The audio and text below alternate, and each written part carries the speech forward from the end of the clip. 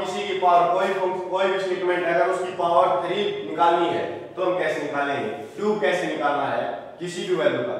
तो सबसे पहले हम क्या करेंगे? जैसे 31 है, इसकी पावर थ्री इसका क्यों निकालना है? तो इसका क्यों निकालने के लिए हम क्या करना होगा?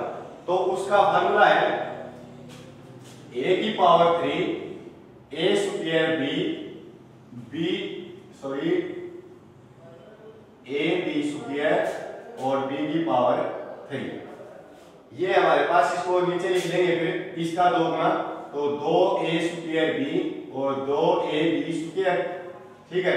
और फिर इनको ऐड कर देंगे ये हमारे पास फार्मूला है इसका जैसे अभी क्या करना होगा सबसे पहले जो पहला फ़ंक्शन है, इसको ए मान लेंगे और सेकंड फ़ंक्शन को हम बी मान लेंगे।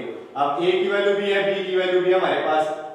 ए की वैल्यू भी है ए की वैल्यू है थ्री और बी की वैल्यू है वन रख दो इसमें तो a की वैल्यू कितनी है हमारे पास? 3 तो 3 की पावर 3 करेंगे तो 27 a स्क्वायर b. अगर इसका स्क्वायर करेंगे तो 9 और 9 की b के साथ मल्टीप्लाई करेंगे तो कितना? 9 ही रह जाएगा हमारे पास।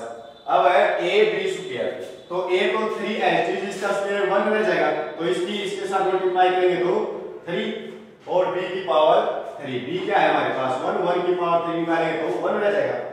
अब देखो, जो ए स्क्वायर बी आता है ए स्क्वायर बी क्या आता है? ए का स्क्वायर 9 और 9 किसके साथ मल्टीप्लाई की तो? 9 ही था और उसका दो गुना करेंगे तो इस वैल्यू का और इस वैल्यू का। जो हमारे पास ये वैल्यू है, इनका दो गुना करना है तो इसकी वैल्यू का दो गुना करेंगे तो 18 हो जाएगी हमारी।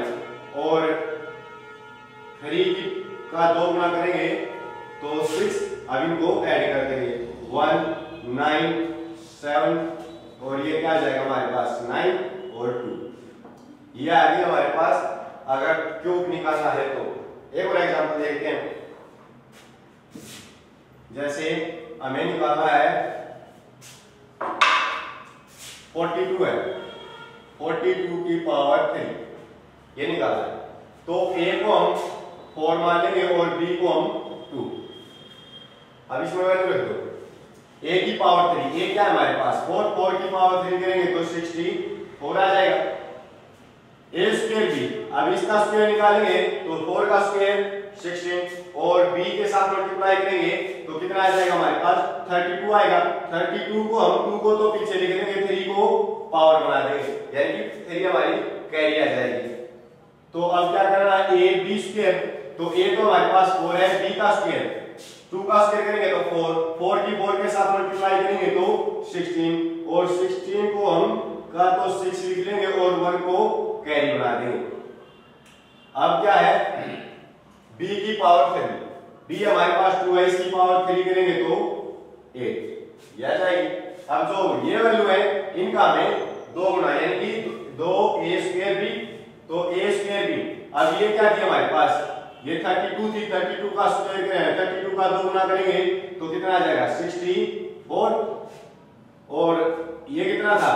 16 16 का अगर दो गुना करेंगे तो 16 का दो गुना करेंगे तो क्या आ जाएगा हमारे पास 32 32 के नाम का दो लिख लेंगे और थ्री हमारे पास कैरी आ जाएगी। एट जोड़ देंगे इसको एट और सेवन एट नाइन टेन और वन कैरी हो जाएगी। तो टेन और फोर्टीन और ये सेवन तो ये हमारे पास क्यूब निकालने की एक ट्रिक है। ठीक है? Thank you